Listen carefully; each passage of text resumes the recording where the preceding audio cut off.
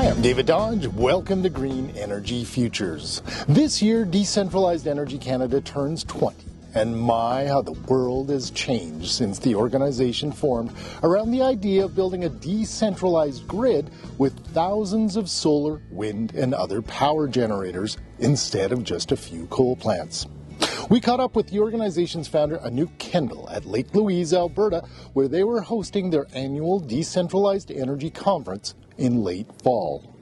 20 years ago, so it's our 20 year anniversary. Hurrah! We've been around for 20 years, and 20 years ago, if there was any solar being installed, it was called guerrilla installations. They weren't approved.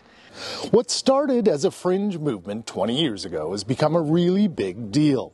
DEC now represents a broad cross section of industry, government, and NGO people that come together at the DEC annual conference. And it's all about building a decentralized, resilient, low emissions energy system of the future. Our energy systems today are not matched to the infrastructure that we built 100 years ago.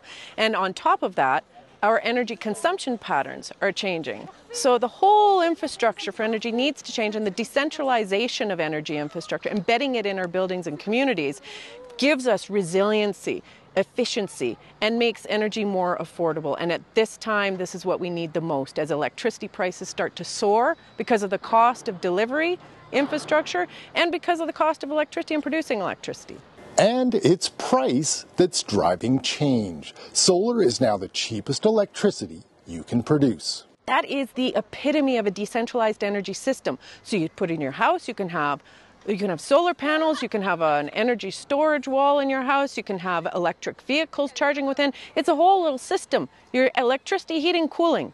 When you look at your bill today, you may be paying 50% or even more for the transmission, distribution, and administrative charges. Kendall says we need a more efficient system.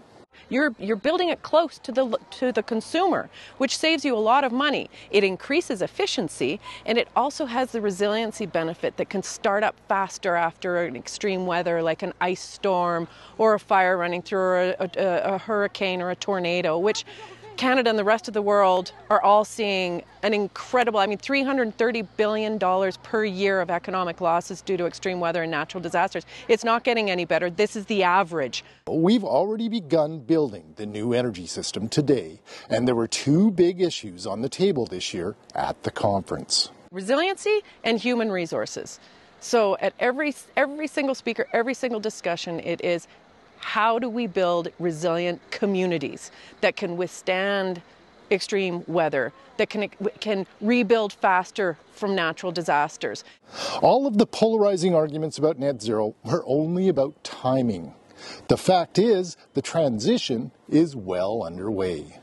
I hope and I know in 10 years we will not be talking us versus them. There, there will not be a polarization. There will be this core understanding of our own resiliency and the value of our resiliency in communities, we will be taking advantage of the trillions of dollars of opportunity in data optimization, microgrids, um, community integrated energy systems, multiple diversified energy uh, uh, supply generation, both on the thermal and the electrical side. I think it'll be a, an extremely exciting place with so much opportunity, and we will be we will be we will be helping the wheels turn and keeping our network engaged, growing the network, and enabling a, a, much larger global collaboration in energy resiliency and energy accessibility for the whole world. Today, Decentralized Energy Canada's members are big players with billions in revenue, and they're busy figuring out and building the low emissions, decentralized, resilient, and affordable grid of the future. Learn more at greenenergyfutures.ca. For Green Energy Futures, I'm David Dodge.